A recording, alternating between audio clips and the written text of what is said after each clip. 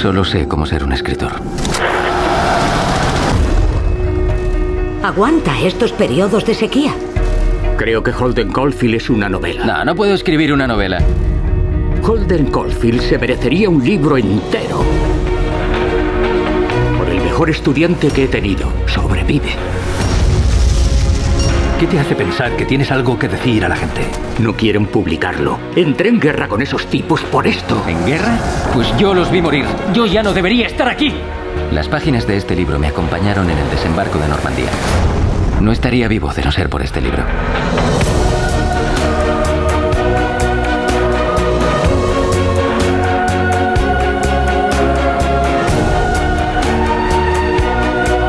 Tú eres Holden Caulfield, ¿verdad?